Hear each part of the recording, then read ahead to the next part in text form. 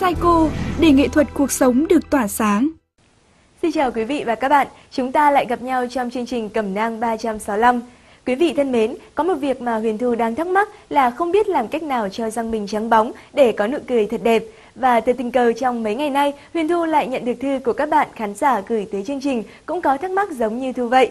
Vì vậy hôm nay, chương trình quyết định sẽ giới thiệu đến quý vị mẹo chăm sóc làm trắng răng một cách hiệu quả nhất.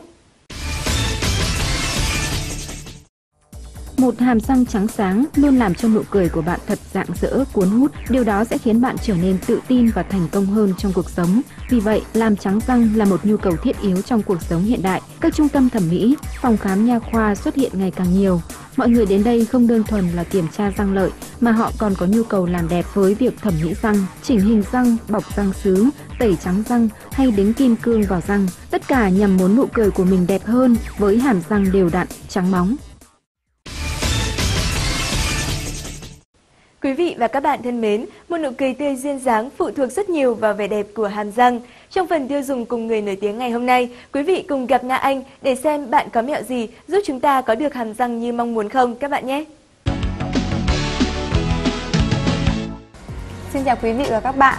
Để sở hữu một hàm răng chắc khỏe như mong muốn, đó là mơ ước của rất nhiều người.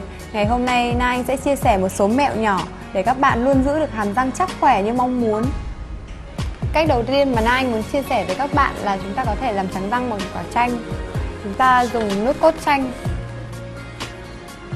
Sau đó cho một ít muối vào. Rồi chúng ta dùng bàn chải nhúng vào nước cốt chanh và muối. Chúng ta trà lên bề mặt của răng. Vitamin C trong chanh sẽ giúp làm tẩy sạch bề mặt răng và làm trắng răng. Còn một bất ngờ nữa mà Nai Anh muốn chia sẻ với các bạn, đó là làm trắng răng bằng quả dâu tây. Chúng ta cắn ngập quả dâu tây và để trong vòng 5 phút Chất tẩy trong dâu tây sẽ lấy đi các vết ố ở trên răng hoặc các bạn có thể xay dâu tây và trộn lẫn với kem đánh răng rồi trà lên bề mặt răng như thế sẽ lấy đi các vết ố và làm trả lại cho chúng ta một hàm răng chắc khỏe. Nếu các bạn thường xuyên ăn táo hoặc cà rốt, lượng axit và chất xơ trong táo sẽ giúp loại bỏ đi các mảng bám trên răng, sẽ giúp răng bạn chắc và khỏe hơn. Ngoài ra, bề mặt trong của vỏ cam các bạn có thể dùng trà với chiếc răng ố trong vòng 5 phút. Răng bạn sẽ trắng và khỏe hơn rất là nhiều. Các bạn nhớ đừng quên uống nước nhé. Đây là cách đơn giản nhất nhưng cũng là cách hiệu quả nhất vì khi chúng ta uống nước sẽ loại bỏ các mảng bám trong răng và sẽ làm sạch khoang miệng. Khi chúng ta ăn xong mà không kịp đánh răng ngay thì chúng ta nên uống một cốc nước đầy, như thế sẽ làm sạch khoang miệng và chống sâu răng.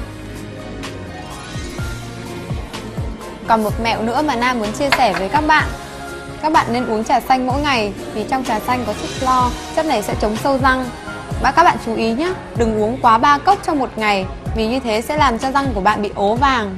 Các bạn nên đi khám định kỳ 6 tháng một lần. Nếu răng có dấu hiệu ố vàng hoặc bị đen thì chúng ta nên hỏi nha sĩ, xin ý kiến của nha sĩ chứ không tự làm ở nhà. Như vậy sẽ không tốt cho răng của chúng ta.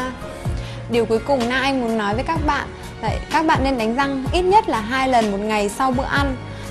Quan trọng nhất là chúng ta phải đánh đúng kỹ thuật, đánh theo hình vòng tròn, trà lên rồi trà xuống nếu các bạn đánh theo đúng kỹ thuật, các bạn sẽ có một hàm răng chắc khỏe. Hy vọng sau chương trình hôm nay với những mẹo nhỏ mà Na Anh đã chia sẻ với các bạn, các bạn sẽ có một hàm răng trắng đẹp như mong muốn. Xin chào và hẹn gặp lại các bạn trong chương trình lần sau. Khởi động sắc hè là chương trình mang lại niềm vui và may mắn cho khách hàng khi đến tham quan và mua sắm tại Nokia Store 63 Lý Thường Kiệt. Tặng ngay một điện thoại Nokia 1280 khi quý khách mua điện thoại Nokia N8 và Nokia E7. Ngoài ra, khi mua các dòng sản phẩm điện thoại có trị giá từ 5 triệu trở lên, bạn sẽ được tặng ngay thẻ mua hàng siêu thị mệnh giá 500.000 đồng hoặc bộ bình cộng cốc Luminax trị giá tương đương. Với các dòng điện thoại Nokia có trị giá từ 2 triệu trở lên, bạn được tặng ngay thẻ mua hàng siêu thị mệnh giá 200.000 đồng. Có rất nhiều cơ hội hấp dẫn đang chờ đón bạn. Chương trình sẽ diễn ra từ ngày 25 tháng 5 năm 2011 tại FPT Nokia Store, 63 Lý Thường Kiệt, Hà Nội. Thông tin về cơ hội vàng đã khép lại chương trình Cẩm nang 365 ngày hôm nay. Hy vọng với những mẹo nhỏ của chương trình, bạn sẽ có được một hàm răng trắng bóng và chắc khỏe. Cảm ơn công ty cổ phần Saico Việt Nam đã tài trợ cho chương trình. Xin chào và hẹn gặp lại trong chương trình lần sau. Saico hân hạnh tài trợ chương trình này.